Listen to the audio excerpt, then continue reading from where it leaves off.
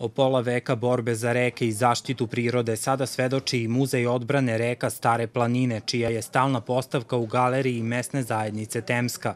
Meni je izuzetna čast da sam bila u prilici da svojim znanjima i talentima pokažem ono što su ovi veterani u borbi, kao što su Dušan Mitić, Nebojša Ilić i svi drugi uh, uradili da mi danas možemo da zaštitimo ono što su oni očuvali. Znači da nije bilo njih i njihove borbe, mi danas ne bismo ni imali šta da štitimo.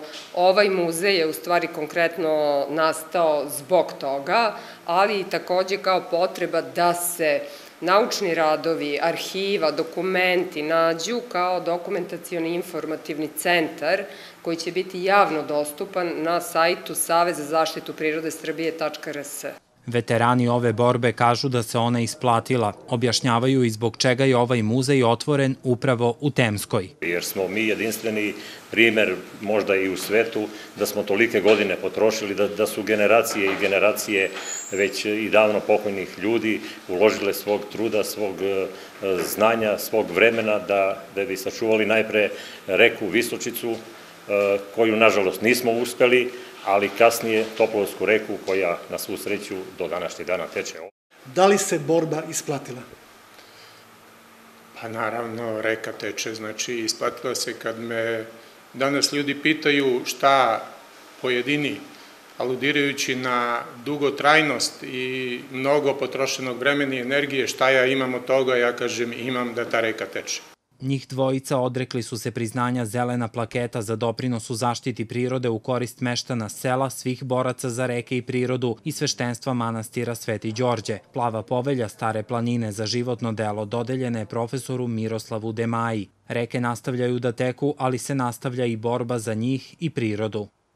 Borba ljudi za zaštitu prirode i oni koji žele da zarade novac na račun prirode će biti večna. Znači ona nikada neće prestati i na generacijama posle nas je da to nastave i da umeju da brane prirodu. Apsolutno spremni svakoga časa, ne daj Bože da bilo ko se pojavi i ne bih ni savjeto da bilo kome da se pojavljuje.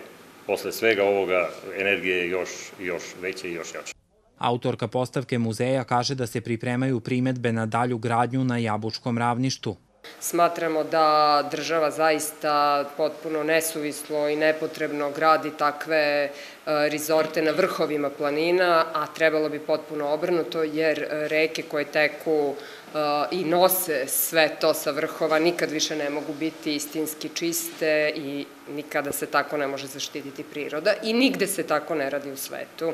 Povodom otvaranja muzeja prikazan je i dokumentarni film Reke žedne slobode. U stvaranju ovog muzeja učestvovali su Udruženje Temska, Mesna zajednica Temska, Naučno-istraživačko društvo studenta biologije i ekologije Josif Pančić, Društvo mladih istraživača Branislav Bukurov, Savez mesnih zajednica Stare planine i Licej. Projekat su podržali Britanska ambasada u Beogradu, British Council, Fondacija Trag, Free River Fond, Svetska organizacija za zaštitu prirode, dokumentarna produkcija Kvadrat i Fakultet dramskih umetnosti.